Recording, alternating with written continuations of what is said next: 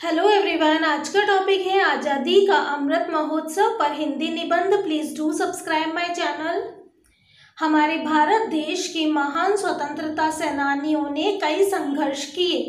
15 अगस्त उन्नीस सौ सैंतालीस को हमारे भारत देश को अंग्रेज़ों की गुलामी से आज़ादी मिली थी। स्वतंत्रता दिवस की पिचहत्तरवीं वर्षगांठ पूरी होने के अवसर पर भारत सरकार आज़ादी का अमृत महोत्सव मना रही है। आज़ादी का अमृत महोत्सव मतलब नए विचारों का अमृत, नए संकल्पों का अमृत और आत्मनिर्भरता का अमृत है।